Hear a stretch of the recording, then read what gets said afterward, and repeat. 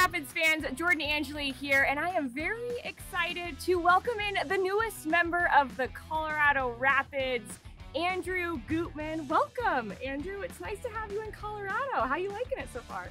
Yeah, I'm liking it a lot. I'm excited to be here and, you know, can't wait to get going. Yeah, we're excited to have you. The sun is out showing its appreciation finally.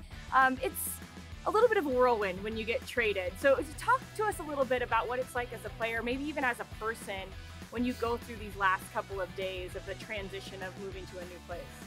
Yeah, it's uh, it's a bit of mixed emotions. You know, you're super excited that you know a team wants you so much that they're willing to trade for you. You know, and and give up some some assets. So you don't really want to dwell on, you know, the moving and you know finding a place to live and all that stuff. You just want to continue to to be happy, be positive, and you know I get to play soccer for a living. So just always got to remind myself that. Yeah, it doesn't get much better than that, does mm-hmm. it? Uh, you have a very distinct style of play, I would say. How would you personally describe your style of play, and how do you foresee that impacting this Rapid squad? Yeah, I mean, I'm definitely not the the prettiest on the ball, but I think I'm a very like hard-nosed player like to get up and down, very direct, um, bring a lot of intensity to the game.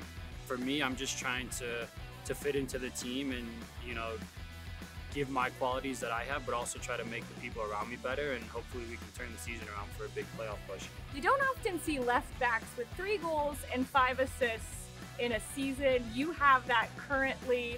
Where does this knack for offensive contribution come from?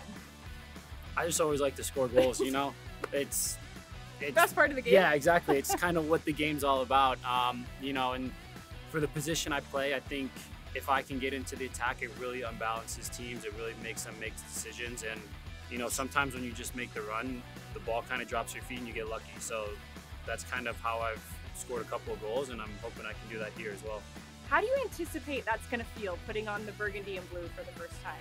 I think it'll be a great experience. You know, it's like I said at the beginning, it's always great to come to a club that really wants you and really values you.